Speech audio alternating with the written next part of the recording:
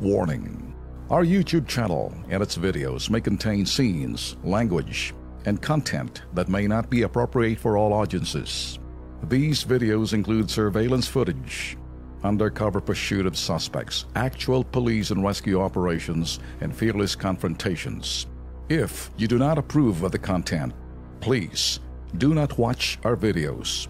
If you wish to continue, we strongly advise that you proceed with caution. Viewers' discretion is advised.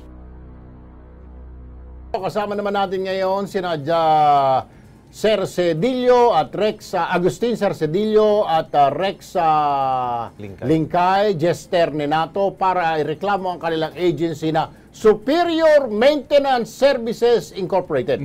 Reklamo nila mga kapatid matapos silang umalis sa kanilang pinagtatrabahoan nilang ah, kumpanya. Hindi raw ibinigay ang kanilang ahensya ang kanilang 13-month pay, back pay, cash ban. October 2016 pa natapos ang kanilang kontrata pero hanggang ngayon lahat ng benepisyo na hinihingi nila hindi pa rin na ibibigay. Oy. Ngayon, eh, Tolben, diretso na tayo para sa kilos prontong aksyon. Nasa linya ng telepono si Belen Nicasio, ang hepe ng SENA Unit ng National Labor Relations Commission o NLRC. Magandang hapon po, Ma'am ah, Belen. Magandang hapon po sa inyo. Magandang hapon po sa inyo mga tagapakinig. Alright, live ho tayo sa ah, Channel 4, ganun din po sa Facebook, ah, ma'am. Ma'am, meron po ritong tatlo pong mga manggagawa, ha? May cash ban sila, back pay nila.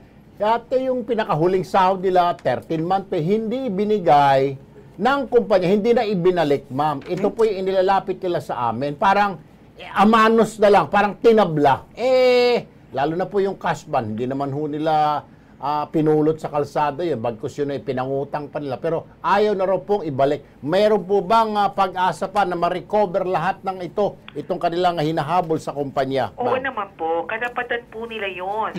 Sa kanila po ang cash ban, pinaghirapan po nila yan, na kinaltas po sa kanilang sahod. Yan. Kinakailangan po nilang maghabol para ho, um, makolekta nila yung para sa kanila. Alright. Paano papasok dito ang ah, NLRC, ma'am? Kailangan lang po nilang magtungo dito sa aming opisina para ho magsampa. Ang una naman pong proseso natin ay yung pong tinatawag na pagpapamagitan dito sa single entry approach. Kaya kinakailangan po na pumunta sila dito para ma-assess po yung concern nila. Mag-fill out lamang po sila ng form. Wala po silang babayaran kahit singko. At nang sa ganun po ay maimbitahan po natin ang kanilang employer na hindi po Ayun. nakapagbayad sa kanila. Ang alam ko nga dyan, ma'am, ah, paghaharap-harapin nyo yata sila at saka yung employer nyo, Tama kayo po ang kayo. pinaka-referee. Yes, at sir. kung gusto Opo. pa ninyo ang testigo, pupunta pa ako dyan. Yun. Para Sama naman ako eh, dyan. ha? Oo. Ah, Sama mo para ako. pag uh, nag-kulukoy-kulukoy yung kumpanya, eh, pwede kong laparuhin itong sampalin sa bunganga. Sama itong mo ako papel. dyan, may sapatos akong dala.